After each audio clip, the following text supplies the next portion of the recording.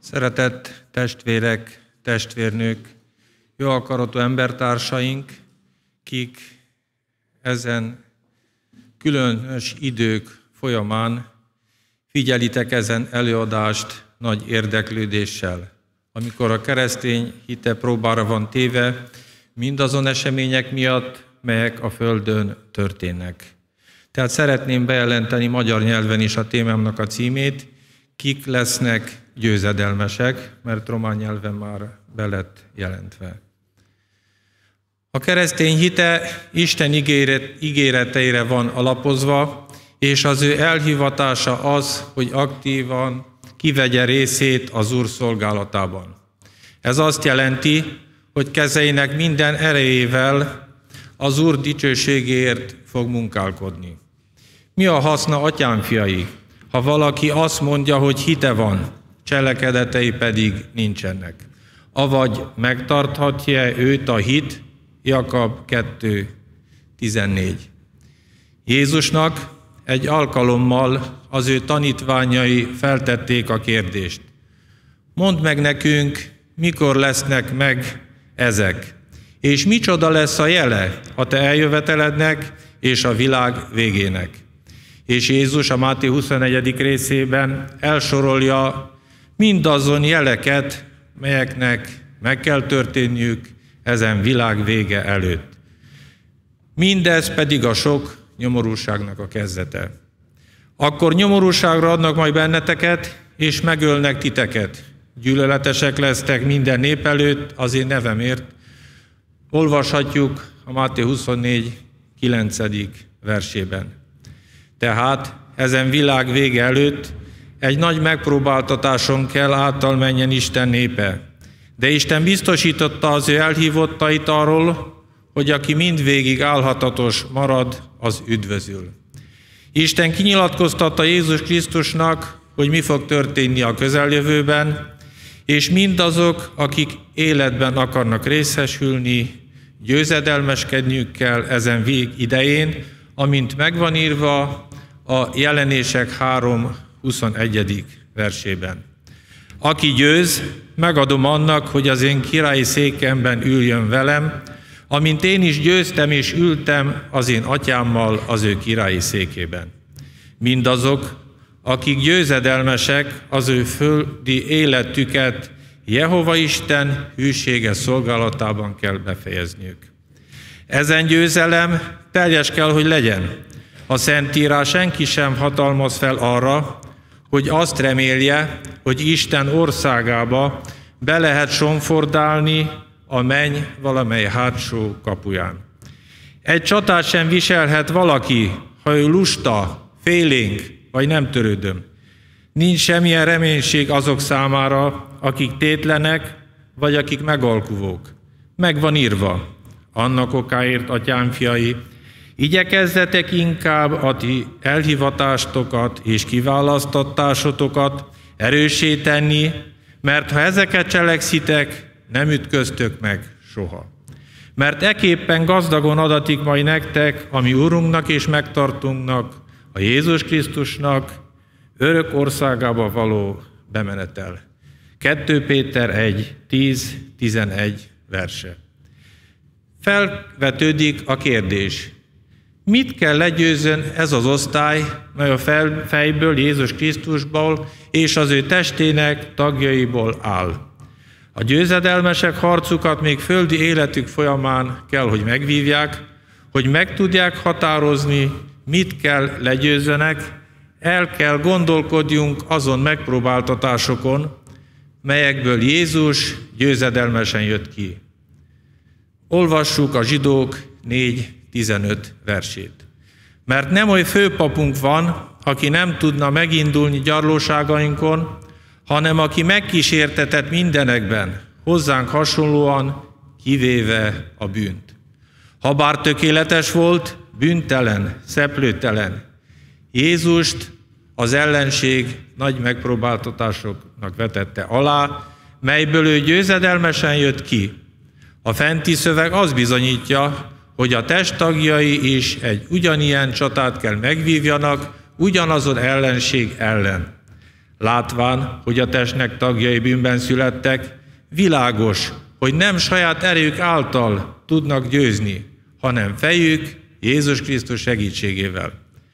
Sokaknak, akik átadták magukat Isten szándékának cselekvésére, azon gondolat támadt elméjükbe, hogy egy kellemes jellem kifejlesztésével el tudnák nyerni Isten királyságát, mint győzedelmesek. De ezt a Szentírás nem támasztja alá.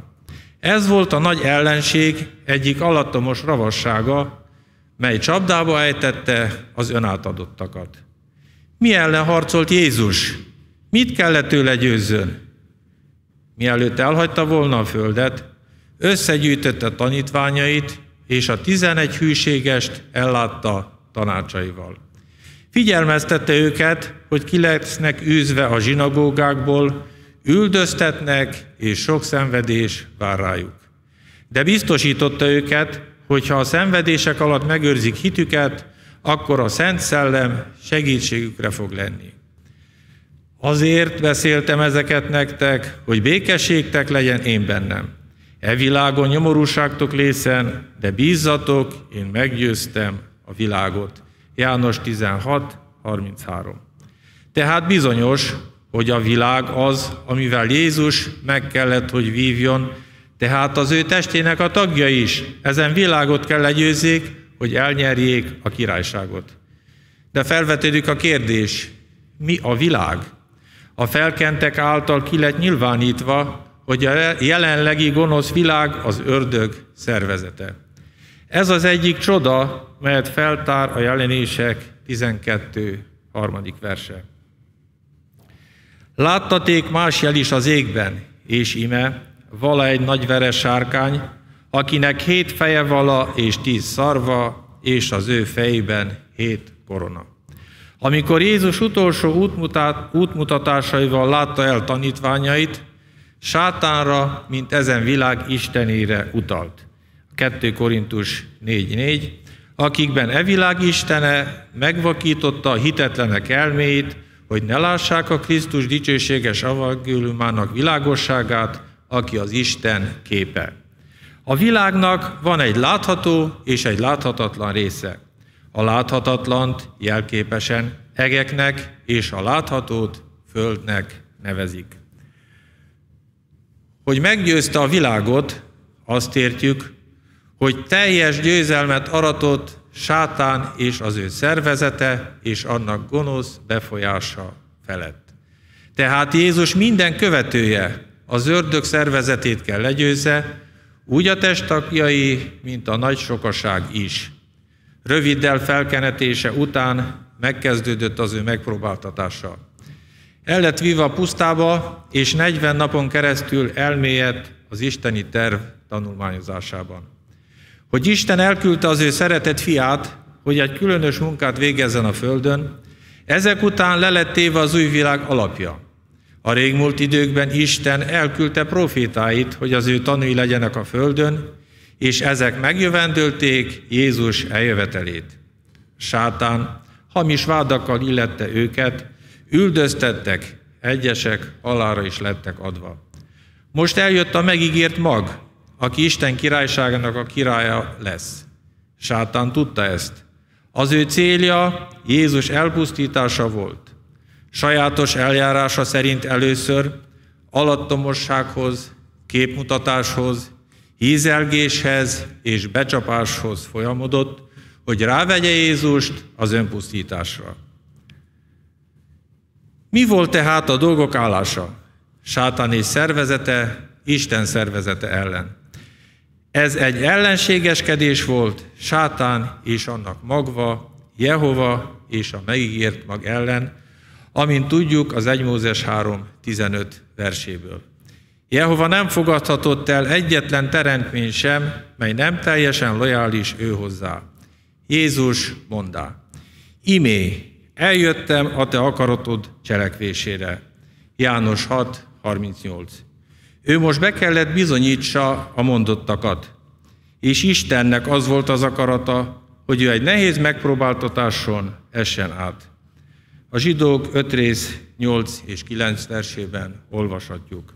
Ám bár egy fiú megtanult azokból, amiket szenvedett az engedelmességet, és tökéletességre jutván örök üdvösség szerzője lett mindazokra nézve, akik neki engedelmeskednek. Sátán tudta, hogy ha rá tudná venni Jézust, hogy Isten iránti fethetetlenségét megszegje, alkalmatlanná válna Isten szándékának teljesítésére. A megfelelő idő akkor volt, amikor Jézus befejezte bőtölését és éhes volt. Sátán Jézushoz fordult hízelgő szavakkal. Régóta nem ettél, kenyére van szükséged. Itt nincs semmi ennivaló, de mivel Istennek a fia vagy, ezen köveket kenyéré változtathatod. Tedd meg, és csillapítsd le éjségedet. Látszólag ezen sugallat nem volt egy rossz, gonosz sugallat, de utólag annak bizonyult, mert nem volt Istennek az akarata, és Jézus pusztulásához vezetett volna. Jézus, ahelyett, hogy engedett volna sátán csábításának, így felelt. Meg van írva, nem csak kenyérrel él az ember, hanem minden igével, ami Isten szájából származik. Lukács 4.4. Akkor sátán egy másik csalafintasághoz próbálkozott. Így szólva, tudod, hogy ezen világ Istene vagyok, és ezen királyságok az enyémek. Isten elküldött, mint királyt, de hogy uralkodjál, előbb el kell engem üzzél. Miért halcoljunk? Lemondok az uralkodásról, neked adom ezen világ királyságait, ha cserébe imádsz engemet. Egy gyenge jellem mit gondolt volna? Miért háborúskodjam, ha annélkül is elérhetem célomat?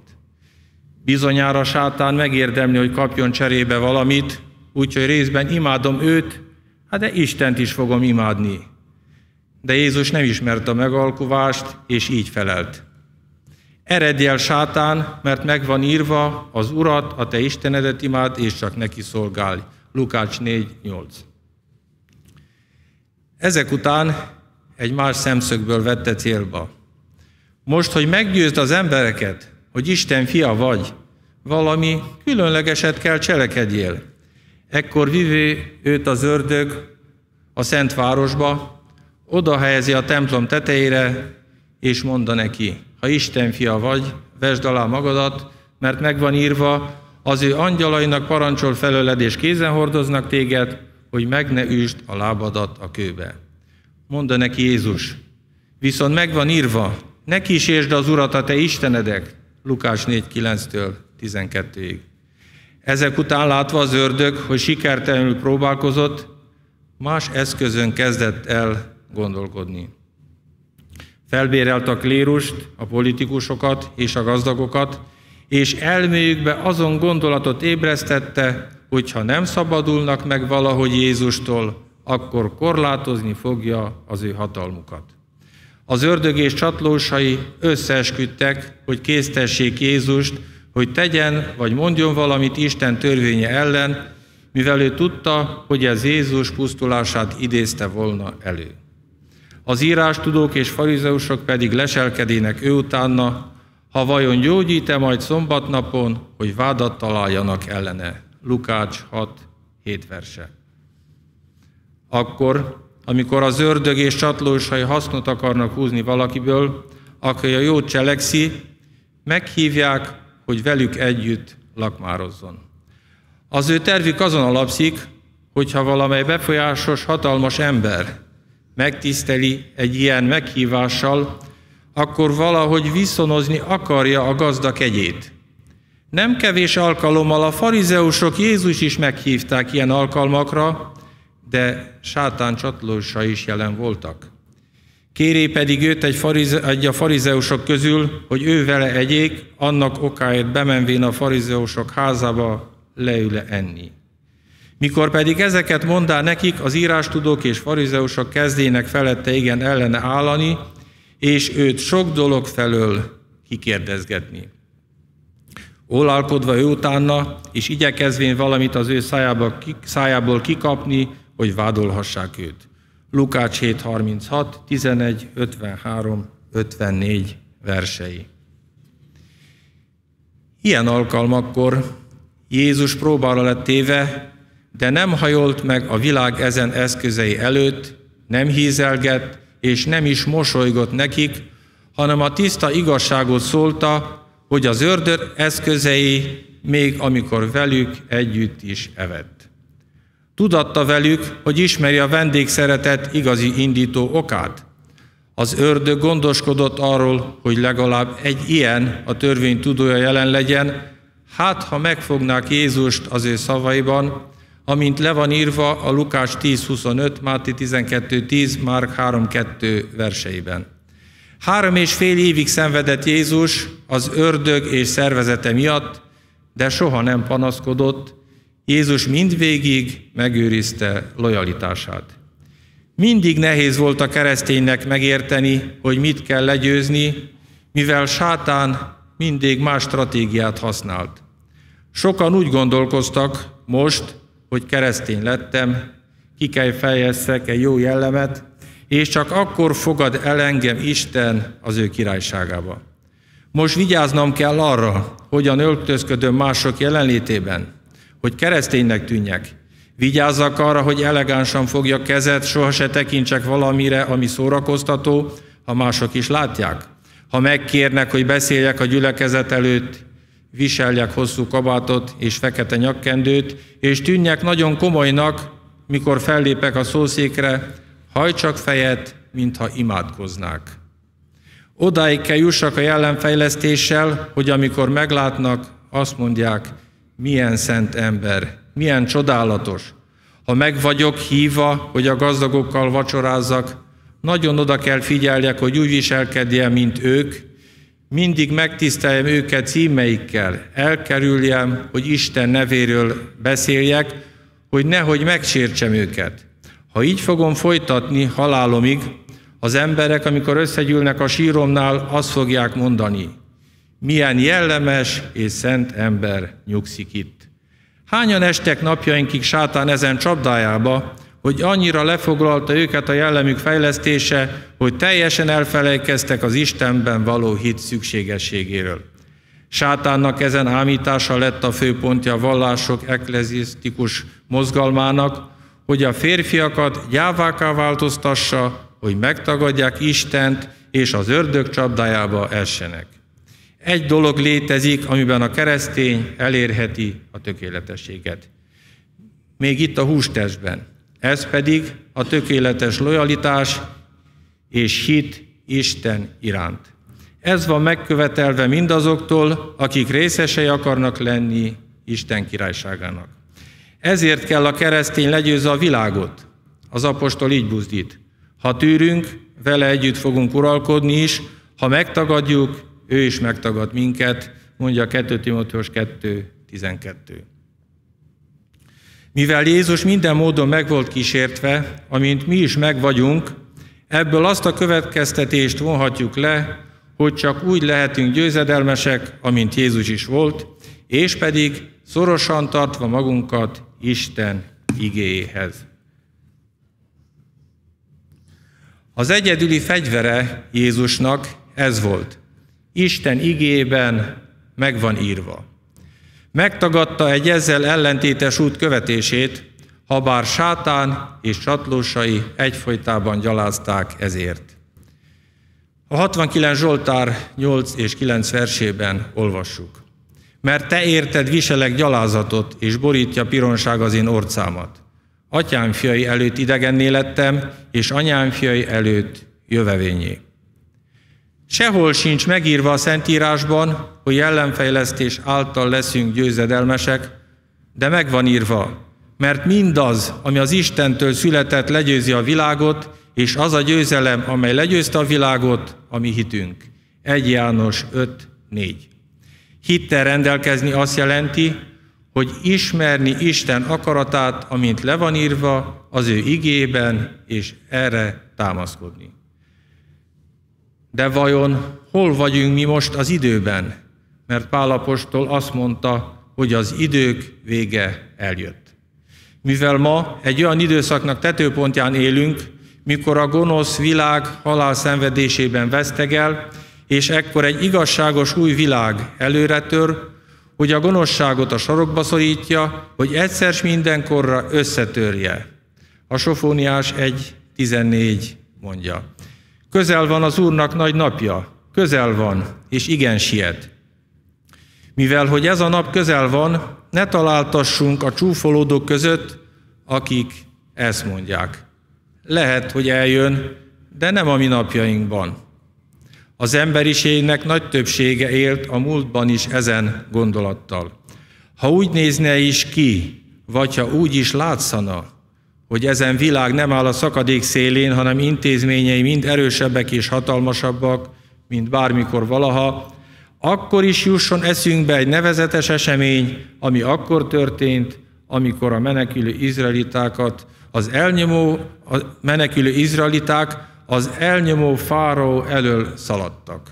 Amikor a fáraó hadsereg erejének és hatalmának tetőpontján állott, úgy nézett ki, hogy a menekülő izraeliták könnyű zsákmányként szolgálnak neki és seregének. De az akkori idők hadserege nem aratott sikert, mert Jehova Isten az ő népének utat biztosított a vörös tengeren, és egyszer csak a vizek összementek, és a fáraó hadseregeiből szempillantásra nagy rakás, ócskavas és holttestek lettek, amint olvassuk a 2 Mózes 14, 19-től 31. versében leírtakban. Ismervén az idők jeleit, hogy ez a gonosz világ erejével és hatalmával senkit sem tud megszabadítani a veszedelem a ma nagy napján, ezért minden józan gondolkodású emberben felvetődik a kérdés, vagy fel kellene, hogy vetődjön. Mit tegyen, hogy az ő idejét hasznos módon használja fel ezen vég idején? És erre vonatkozólag a Szentírás megadja a feleletet a Prédikátor 8. 5. versében. Aki megtartja a parancsolatot, nem ismer nyomorúságot, és a bölcsnek elméje megért mind időt, mind ítéletet. Egy bölcs keresztény nem úgy használja fel az idejét, mint a világ. A világ szalad hatalomért és gazdagságért, és az ő gazdagságaikat felhasználják értékes kincsek megszerzésére. Ez a hátralevő idő rövid. Nem azért lett adva, hogy anyagi gazdagságokat halmozzunk fel, amely eltávolítja a mi elménket Jehova értékes igazságától. Pálapostól felteszi a kérdést, és meg is adja rá a feleletet. A Róma 10. rész 13-tól 15. verseiben, melyet felszeretnék olvasni.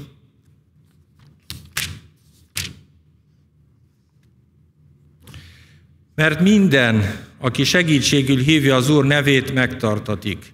Mi módon hívják azért segítségül azt, akiben nem hisznek, mi módon hisznek pedig abban, aki felől nem hallottak, mi módon hallanának pedig prédikáló nélkül. Mi módon prédikálnak pedig, ha el nem küldetnek, amiképpen megvan írva, milyen szépek a békesség hirdetőiknek lábai, akik a jókat hirdetik. Tehát a hátralevő rövid idő a hirdetés céljából lett adva, hogy mindenki az evangélium hírnöke lehessen, amint olvassuk a Máté 24-14 buzdító szavait. Mi nagy kiváltság részt venni ebben a munkában, amint a Szentírás is tanítja, hogy az angyalok, akik nagyobb rangú teremtmények az embereknél, ők is szerettek volna részt venni ezen munkában. De az emberek számára alatt ez fenntartva, ők nem tekintették volna lealacsonyító munkának vagy időveszteségnek azt, hogy dicsérjék Jehovát itt a földön, és hirdessék azt, hogy Jézus Krisztus 1914-ben elkezdte uralkodását. Mi nagy öröm részt venni ebben a munkában, és nem kicsiny felelősség, mert a te életed és mások élete függ attól, hogy hogyan teszel bizonyságot, és mennyire vagy kitartó, és mennyire vagy meggyőződve a te szolgálatodban. A tanulmányozás nagyon hasznos dolog, egyetlen keresztény sem engedheti meg magának, hogy tanulmányozás nélkül elnyerje Jehova elismerését. Igyekezzél, hogy Isten előtt becsületesen megállj, mint oly munkás, aki szégyent nem val, aki helyesen hasogatja az igazságnak beszédét. 2 Timóteus 2, 15. Ha nem töltsük naponként az elménket az igazság vizével, egy szép napon arra ébredünk fel, hogy képtelenek leszünk eloltani szomjúságát azon személyeknek, akik tapogatózva keresik az igazságot. Pálapostól szoros kapcsolatot tart a tanulás, tanítás és a hirdetés között. És ezért óva intette a fiatal Timóteust az ő levelében, az 1 Timóteus 4.16 versében. Gondot viselj magadról és a tudományról. Maradj meg azokban, mert ezt cselekedvén mind magadat megtartod, mind a te hallgatóidat. Mi esztelen dolog volna az valaki részéről, hogy amikor olvassa Isten igazságát, megengedje, hogy az ő elméje olyan dolgok után járjon, ami egyáltalán nem tartozik oda. Tehát ezen alkalommal olvasott igazság nem marad meg az elmében, mivel valójában nem is volt jól belevésve. Jehova az utolsó időben csodálatos módon gondoskodott az ő népének szellemi táplálékáról, de ezt egyesek megszokott dolognak veszik, és azt gondolják, hogy mindig lesz, de valójában nem így van. Ne feledjük el, hogy sátannak az ideje még nem járt le. Mint ordító oroszlán jár kell keresvén, hogy elnyelje még a választottakat is, amint mondja az 1 Péter 5 rész 8. Lehet, hogy eljön az idő, hogy be lesz tiltva a Bibliának és segédeszközeinek olvasása. Ezért jól teszi a keresztény, aki a példabeszédek szavai szerint jár el, mindezeket vésd a te szívednek hústábláira. Példabeszédek negyedik része, első és második versei. Halljátok meg, fiaim, hagyjátok erkölcsi tanítását, és figyelmezettek, figyelmezzetek az értelemnek megtudására. Mert jó tanulságot adok néktek, az én tudományomat el ne hagyjátok. Jehova királyságának hírnöke az utolsó időben nagy mértékben egy különleges kioktatást azon összejövetelek alkalmával nyerhet, melyet Jehova tanúi hetente tartanak. Egyetlen keresztény sem engedheti meg magának, hogy azon téves következtetésre jusson, hogy ő elolvasta a Bibliát elejétől végig, és annak segédeszközeit is, és nincsen már miért egybegyűjjön másokkal tanulmányozni. Pedig mások jelenléte buzdítás jelent a számodra ezen nehéz idők folyamán. Jehova jobban megáldja azoknak elméjét, akik egybegyűlnek másokkal, az ő igéjét tanulmányozni. Máté 18.20, példabeszédek 27-17 versei. Nagyon jó, hogyha állandóan vizsgáljuk azt, hogy a mi személyes életmódunk nagy mértékben azon szokásoktól függ, amelyekkel mi rendelkezünk. Legyenek azok jók vagy rosszak. Vagy ha mi szem előtt tartjuk, látjuk azt, hogy az az út, amely nehéznek tűnik, utólag az bizonyul a jónak. Aki az élet útján jár, az nem engedheti meg magának, hogy az ő idejét ide s tova járkálással töltse el, mely letéríti őt a keskeny útról, és egy szép napon arra ébredjen fel, hogy már nagyon messze eltávozott, és már nincs ideje visszatérni. Ezért ne engedd magadat megcsalni a világtól, hogy jobban szeresd a szórakozást, mint Istent, amint olvashatjuk a példabeszédek negyedik rész 13 és 14 verseiben. Ragaszkodjál az erkölcsi tanításhoz, ne hagyd el, őrizd meg azt, mert az a te életed. A hitetlenek útjára ne menj, se ne járj a gonoszok ösvényén. Hogyha össze is jön másokkal tanulmányozni Isten igét, ő ezáltal ismeretet szerez, De ez nem jelenti azt, hogy mindörökre fog rendelkezni ezen ismerettel.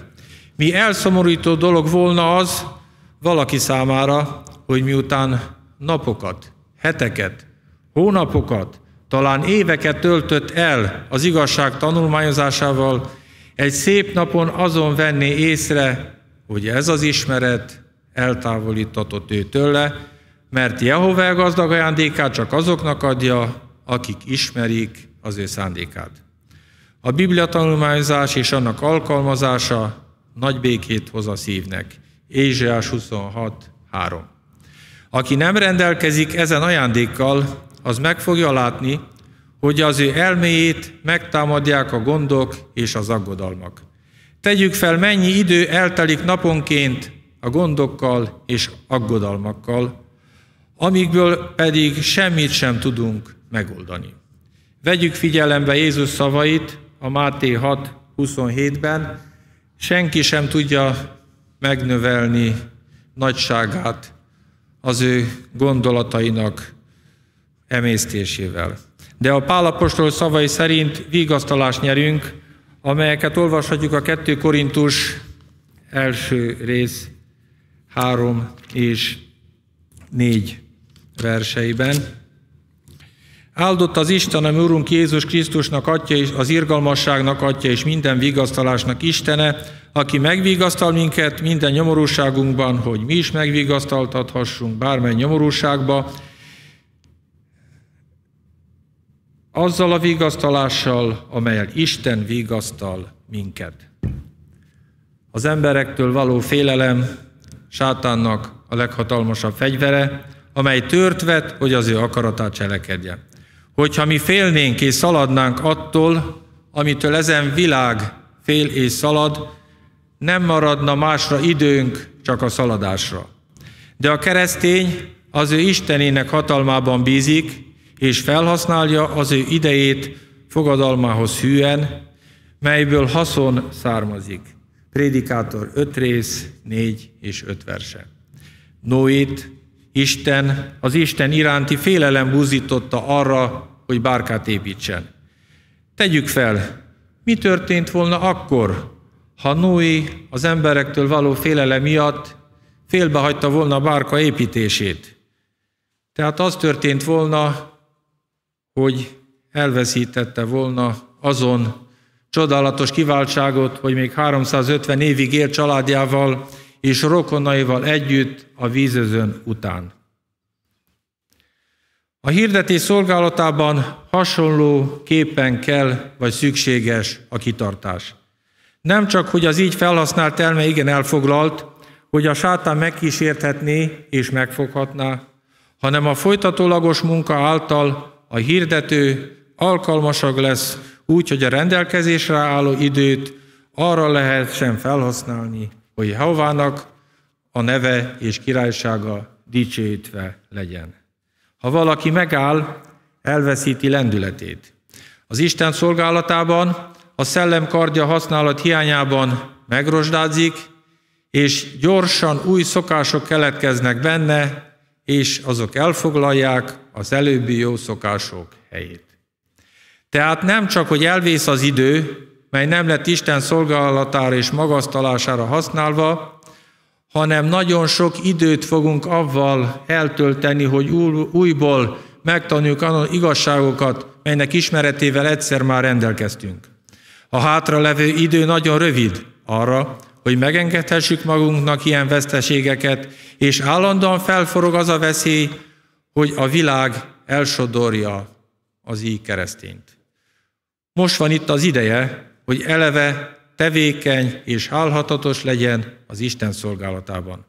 A vigyázat e szükségességét Pál is kihangsúlyozta, miután megdorgált egyeseket az eféziusi gyülekezetben, mivel hogy újra visszatértek a régi szokásokhoz, és ezt mondja.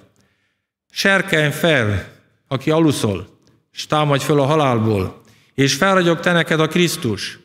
Meglássátok annak okáért, hogy mi módon okkal járjatok, nem mint bolondok, hanem mint bölcsek, áron is megvegyétek az alkalmatosságot, mert a napok gonoszak.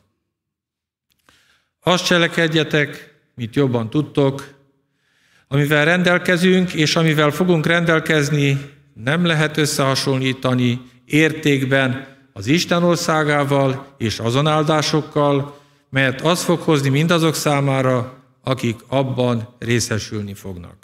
Sőt, ha valaki életét is adja a királyságért, hasznot hoz. Máté 16-25-ben olvassuk. Mert aki az életét meg akarja tartani, elveszti azt, de mindaz, aki elveszti életét, érettem, megnyeri azt. Krisztus előhozza halottaiból mindazokat, akik szolgálati idejüket hűségesen felhasználják. János 5, 28, 29 versei. Jézus Krisztus nem úgy cselekedett, hogy egy dolgot hirdetett és más tett. Munkája összhangban volt szavaival. Jézus mindent, amivel rendelkezett, sőt életét is odaadta a királyságért. Vajon mi nem Jézus példáját kell kövessük ma, hogyha győzedelmesek akarunk lenni ezen sátán által vezetett világ felett? Jehova az ókorban a törvényét két kőtáblára írta, de ma az emberek szívébe írja be, amint megvan írva Jeremiás 31. rész 33 versében, de csak azoknak a szívébe, akik ezt óhatják, és megengedik a mindenható Isten részére. Nem a szövetség szerint, amelyet az ő atyaikkal kötöttem az napon, amelyen kézen fogtam őket, hogy kihozzam őket Egyiptom földéről, de akik megrontották az én szövetségemet, noha én férjük maradtam, azt mondja az Úr, hanem ez lesz a szövetség, amelyet a napok után az Izrael házával kötök, azt mondja az Úr, törvényemet az ő belségbe helyezem, és az ő szívőkbe írom be. Istennek, Istenöké leszek, ők pedig én népem lesznek. Következőleg most nem az a kérdés, hogy Isten bíre írni a mi szívünkre, hanem megengedjük mi neki, hogy írjon a mi szívünkre. Tehát témám befejezésén szeretném elolvasni az 1 Korintus 11 első versét, ahol nagyon szépen buzdítja Pálapostól a kortársait. Legyetek az én követőim, mint én is a Krisztusé. Tehát ezen buzdítással szeretnék elválni tőletek testvéreim, és még el szeretném olvasni az Kolossébeliekhez írt levél második részéből, a 6-tól 8 verseit. Azért, amiképpen vettétek a Krisztus Jézust, az Urat, aképpen járjatok ő benne. Meggyökerezvén és tovább épülvén ő benne, és megerősödvén a hitben, amiképpen arra tanítattatok, bővölködvén abban háladással. Meglássátok, hogy senki ne legyen, aki bennetek zsákmányt vet a bölcselkedés és üres csalás által, mely emberek rendelése szerint, a világ ellemi tanításai szerint, és nem Krisztus szerint való. Megköszönöm Jehovának, és nektek is ezen alkalmat,